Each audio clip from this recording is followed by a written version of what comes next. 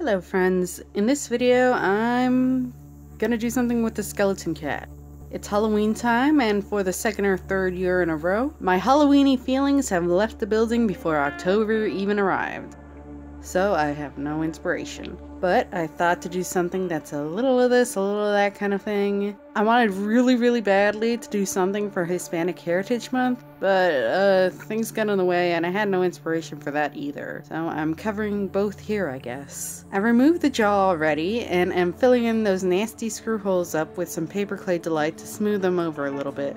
After that's dried a bit, I'm going to heat up a razor blade to help me cut through the front legs. By now I decided that I'm gonna go ahead and do the thing and just make this a chihuahua. So I'm gonna make the arms a little bit shorter. I'm just hot gluing them back on. If you want it to be sturdier, then add support wires, but I'm too weak to bore into the plastic. It's too thick, go figure. I'll strengthen it later. I glue in a couple glass beads and foil in the body cavities for weight and bulk gluing the arms back on and adding a different shape tip to the tail and I'm going to use hot glue to add bulk to the ears to make them a little bigger. I do the other side off camera. But I'm also going to hot glue some foil over the body on the ribs just so I can make the zombie look a little easier when I get there. Not a big deal if it doesn't stick. Also off camera, I did some carving on the face. I changed the position of the nose and widened the eye sockets to make it look more like a chihuahua. At the very least, the skeleton is a little less manufactured looking. Now I'm going to cover some of this little guy in Delight, nothing too much. I'm putting some on the arm connections and the muzzle to finish reshaping that.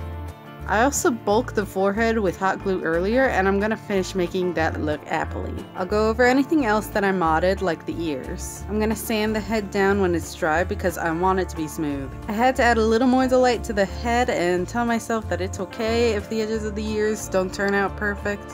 On to the main event of the base, adding texture. This is going to be my first time corpsing something, so hopefully we'll learn by the end.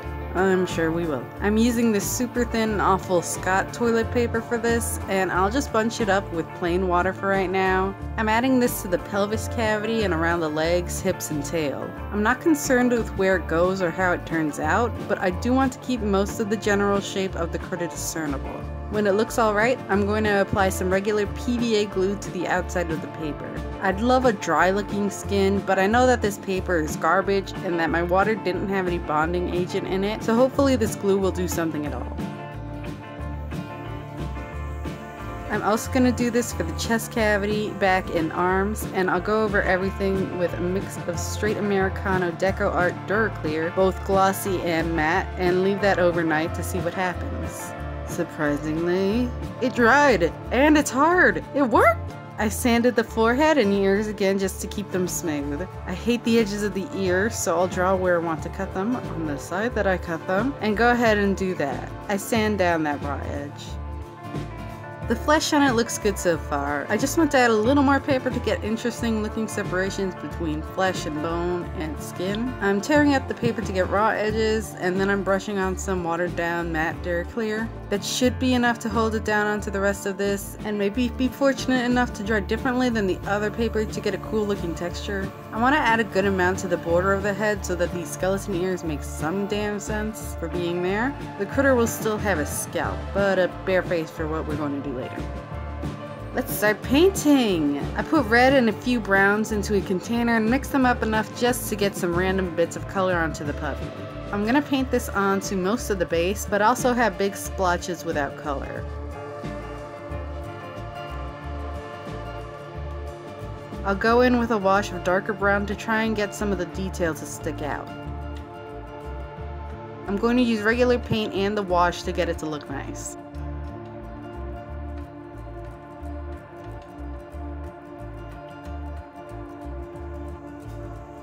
I don't want for the weird stuff inside the skull to be seen, so I'm going to fill it up with a little bit of foil. I'm going to finagle it around until I get kind of a wall, and I'm going to stick it down and give it some weird texture with the light.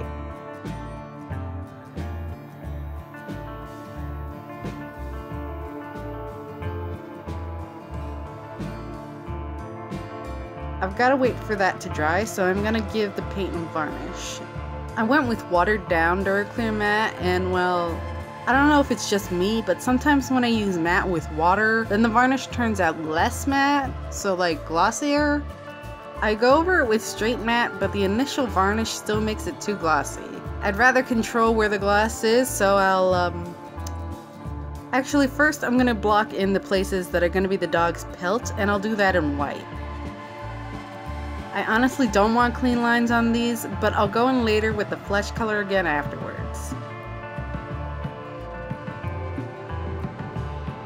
And then I'll spray it with Mr. Super Clear to get a matte surface again. So about painting the fur, what this animal looked like before it became a zombie. There are three types of colorful Mexican animals I can emulate for this.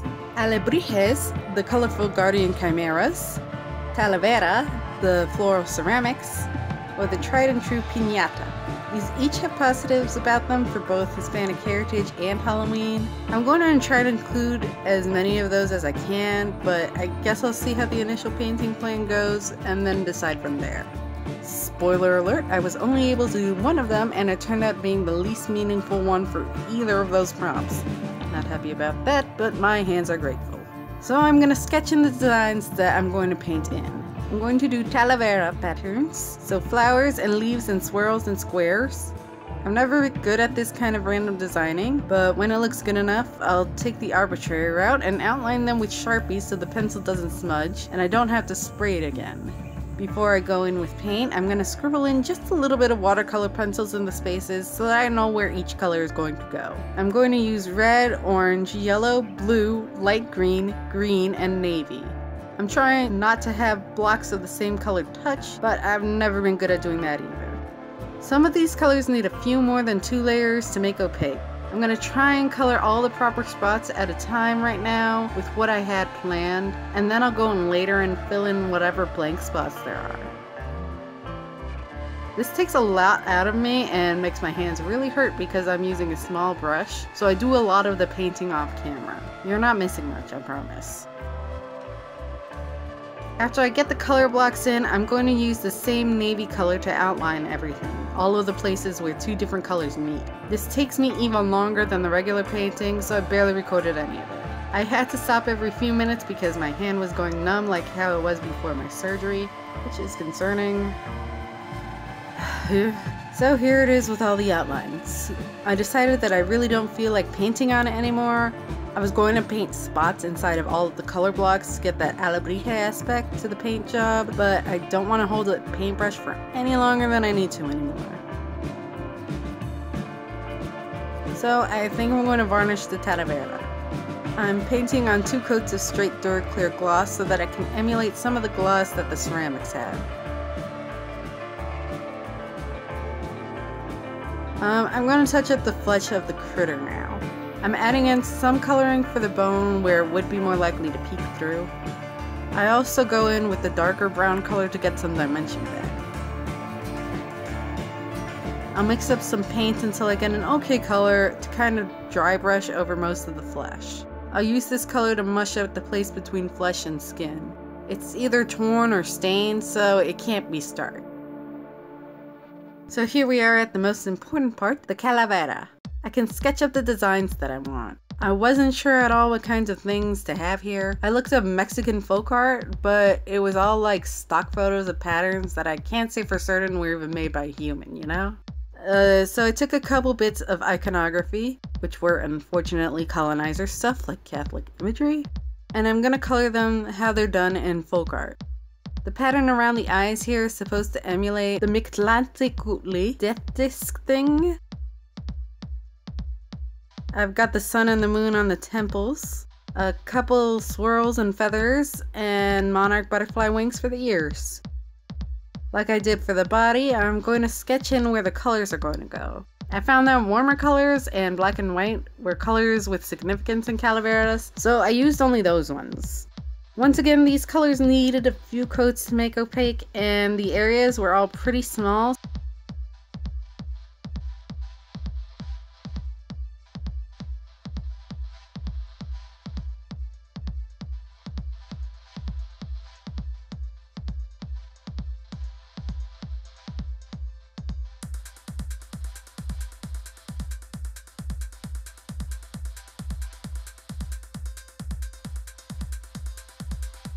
I'll clean everything up with white when it's all painted in. After that, I'll add the spots to the ears. I'm adding some more than they actually have so that they look a little more interesting. I'm going to leave it to dry completely so that nothing smudges before I varnish it. I'm using straight Duraclear matte on the ears, and I'm going in with watered down Duraclear matte for the face. I want the skull just a little glossy, but not at all as much as the ceramics. I like the way that the flesh looks right now, so I'm going to leave it as is. Hopefully it'll be okay, but the undercoats of sealed paint from earlier should make up for if it isn't. So here's what it looks like all done. I feel like this was the roughest project I've done in a few months, at least as far as painting goes. It was nice to be able to keep the raw texture in a sculpture, and it's really good to know that I can do some kind of paper mache type stuff without having to worry about it not drying. I think it's cute. I like how the Talavera came out.